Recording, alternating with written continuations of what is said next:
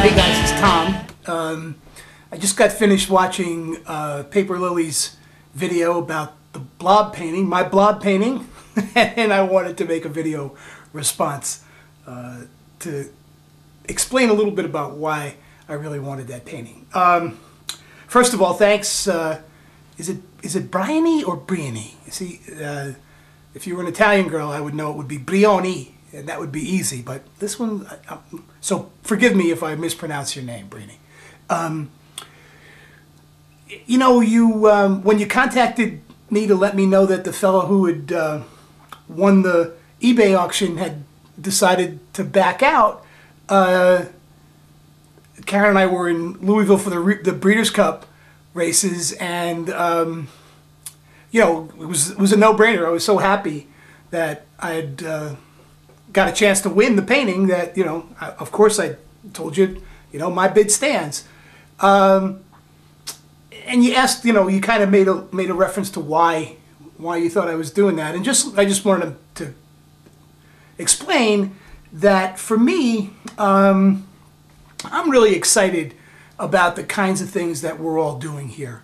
You know, creating stuff in public for one another, just you know, trying things out and experimenting, and creating new ways for people to distribute their work and to share their work with other people. And the idea that you had painted that painting in the video on YouTube and then you were selling it on eBay was just uh, too much of a of a confluence of factors for me not to buy it. Um, now, this is not the first internet art that I bought. Um, you you may remember, some of you may have seen the videos in which this was in the background, and um, that's a uh, that's a painting. it's a painting of the number 203. And it comes, it, it was uh, painted by an artist um, uh, who has a website. His website is www.1000paintings.com. And uh, I don't remember the fellow's name, but you don't have to remember his name now. He's on, on the internet. Um, young fella who um, is from Sweden, I think, and had a great idea took got a thousand pieces of canvas like that, uh, and on each of them painted one number from one to a thousand, and then put them up for auction, reverse auction, uh, on his website. Reverse auction because the earlier paintings were less expensive than the later paintings. As the paintings sold, they became more valuable, and you had to pay more to get them. By the time I got to to, to the site, uh, like on the second day that he had offered these paintings, uh, all the single digits were gone. Uh, all the triple digits were gone. You know, one one one two two two three three three.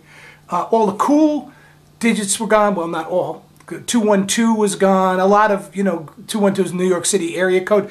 But I saw that 203 was available, which is my area code, my Connecticut area code. So I said, oh, that'd be great because I want to have.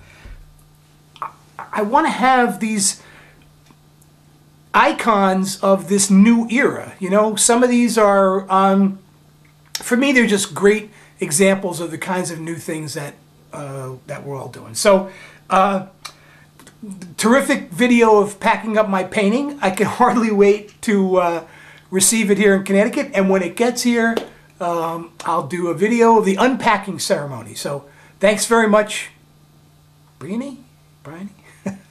thanks, and. Um, See you guys again soon. Bye.